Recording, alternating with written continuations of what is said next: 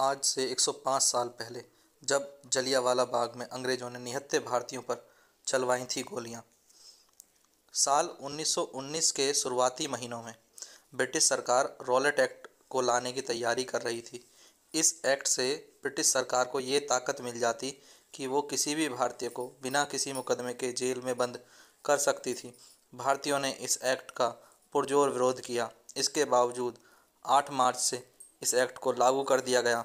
विरोध में जगह जगह हड़ताल और प्रदर्शन होने लगे। गांधी जी ने इसी कड़ी में 6 अप्रैल को देशव्यापी हड़ताल की घोषणा की।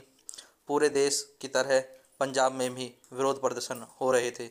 9 अप्रैल को पुलिस ने अमृतसर के लोकप्रिय नेताओं, डॉक्टर सत्यपाल और सैफुद्दीन किचलू को गिरफ़्तार कर लिया। इन नेताओं की गिरफ्तारी के विरोध में 10 अप्रैल को एक प्रदर्शन हुआ। जिसमें पुलिस की गोलीबारी में कुछ प्रदर्शनकारी मारे गए।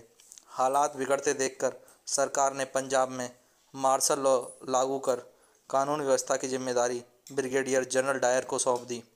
प्रदर्शन फिर भी रुके नहीं। रॉलेट एक्ट को वापस लेने और अपने नेताओं की रिहाई की मांग को लेकर तेरह अप्रैल को अमृतसर में जलियावाला बाग में एक सभा रखी गई। सभा में 25 से तीस हज़ार लोग मौजूद थे। तभी वहाँ जनरल डायर अपने सैनिकों के साथ आ धमका और सभा में मौजूद निहत्थे लोगों पर गोली चलाने का आदेश दे दिया। बाग में अफरा तफरी मच गई। लोग जान बचाने के लिए भागने लगे। कई लोग बाग में मौजूद कुएँ में कूद गए। करीब दस मिनट तक गोलीबारी चलती रही, जिसमें करीब एक हज़ार लोगों की मौत हुई।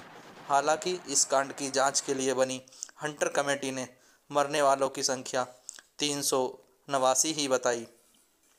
इस पूरे कांड के दौरान वहाँ उद्धम सिंह नाम का एक युवा भी मौजूद था।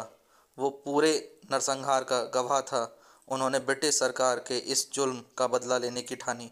उद्धम सिंह ने जनरल डायर और तत्कालीन पंजाब के गवर्नर माइकल ओ डायर को सबक सिखाने की कसम खाई, लेकिन जुलाई 1927 में जनरल डायर की ब्रेन हेमरेज से मौत हो गई थी।